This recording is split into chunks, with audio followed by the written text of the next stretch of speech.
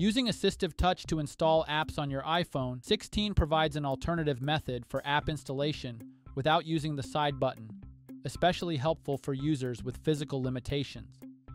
Here's how to access and set this feature up on the new iPhone. First, head over to the home screen and then tap on the settings icon to launch the app. In the Settings app menu, scroll down or up and then tap on Accessibility.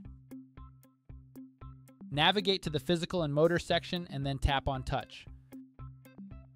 In the succeeding menu, tap on Assistive Touch and then toggle the Assistive Touch switch on to enable the feature. With Assistive Touch enabled, you can now use it to install apps on your device. To use this feature, return to the home screen and then open the App Store. From the App Store, find the app that you'd like to download and install on your device. Once found, tap on the Get or Download button to instigate app download and installation. When the option to Confirm with Assistive Touch appears, tap on the Assistive Touch button and tap on Device. If the app is available for purchase, tap on More to view more options. Tap on Apple Pay and then follow the rest of the on screen instructions to confirm app purchase.